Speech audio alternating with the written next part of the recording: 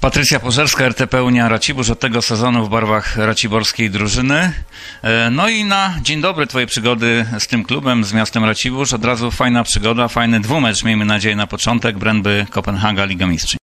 E, tak, e, ogromnie się cieszę, że mogę wystąpić w kolejnej swojej, w swojej karierze w Lidze Mistrzów i po raz kolejny zagrać z dziewczynami z Brępy.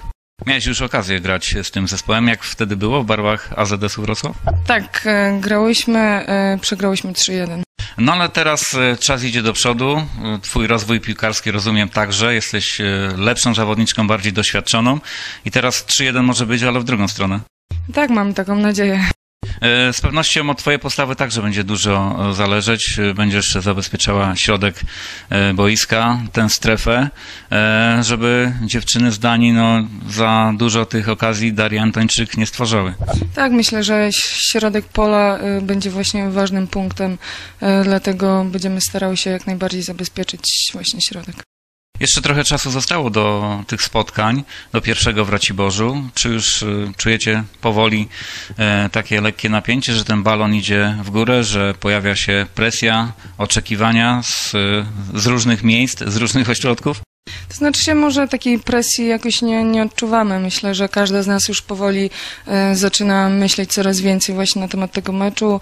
E, każda przegląda jakieś tam strony internetowe, żeby się czegoś więcej dowiedzieć, na, na jakiej pozycji mm, przeciwniczki będą grały. Także myślę, że, że powoli rośnie atmosfera, ale na pewno nie żadna presja. Czego możemy się spodziewać po Was e, w tym dwumeczu?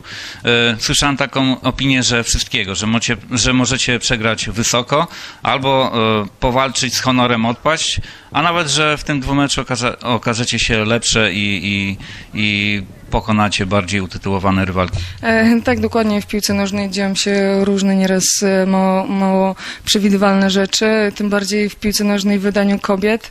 Może być to naprawdę różnie. Możemy mieć e, słaby dzień i może być naprawdę źle, ale również możemy, na pewno nie, nie podejdziemy do meczu bez walki. Damy z siebie wszystko i mam nadzieję, że będzie to mecz zwycięski dla nas. E, Jak ty w ogóle się zaaklimatyzowałaś w Raciborzu, w drużynie? To już jest to, co e, potrafisz grać najlepiej, czy te e, najlepsze spotkania pierwsze to dopiero 22 września z Brandby? No myślę, że wszystko, cała moja forma dopiero wzrośnie.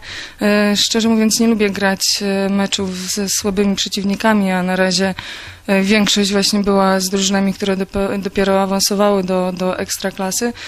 Także myślę i mam nadzieję, że z meczu na mecz będzie coraz lepiej.